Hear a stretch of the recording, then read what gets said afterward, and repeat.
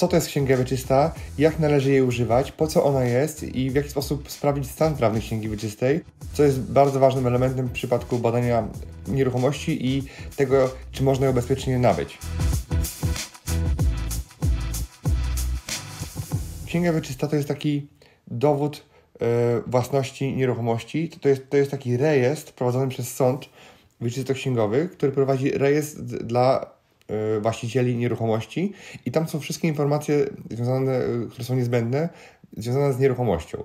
I y, porównując to do, do, inny, do innych rejestrów, to można porównać na przykład, że księga wieczysta to jest, taki, to jest taka karta pojazdu w przypadku samochodu, więc, więc tam są wpisani wszyscy właściciele obecni i wszyscy właściciele pierwotni, którzy byli, jakieś zastawy, które były i tak dalej. Więc to jest taki jakby rejestr y, wieczysty, czyli jakby od samego początku powstania księgi wieczystej do momentu, kiedy tej nieruchomość istnieje jeszcze, ten rejestr prowadzi sąd, bo to jest niezależny urząd. I teraz my jako osoby, które są zainteresowane zakupem takiej nieruchomości, możemy ten rejestr przeglądać, ponieważ rejestr jest jawny.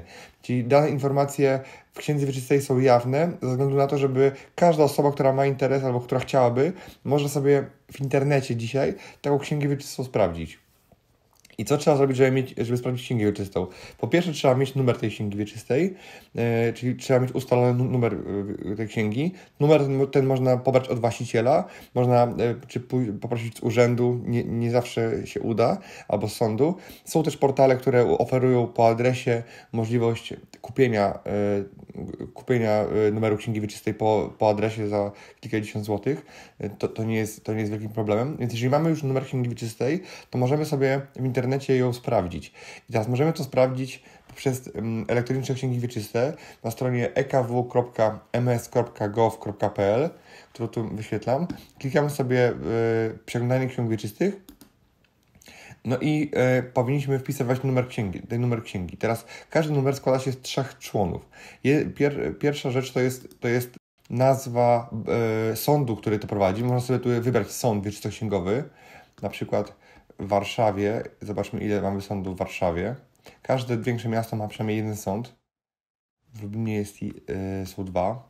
Warszawa ma, ma kilka widzicie, sądów i każdy sąd ma inną numerację, tak? czyli ma, ma inną wartość początkową, z której składa się cały numer. W przypadku Lublina to jest yy, LU1I. Lublin ma dwa sądy.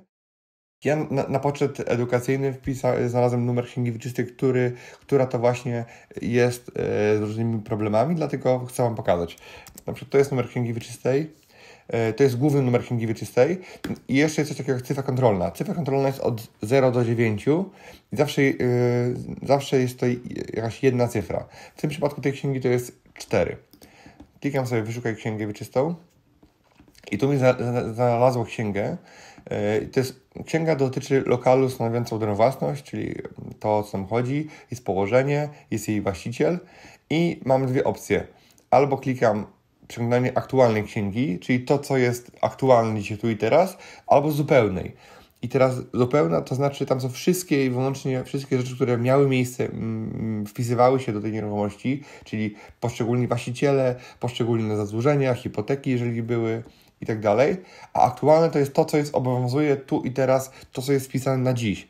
Bo no, mnie na przykład nie interesuje często, czy nieruchomość miała hipotekę 100 lat temu, czy jej nie miała, natomiast z punktu widzenia zakupu dzisiaj to nie ma znaczenia, ale z punktu widzenia yy, dowiedzenia się czegokolwiek o właścicielu, o tym, jaką ma historię, może to być przydatne.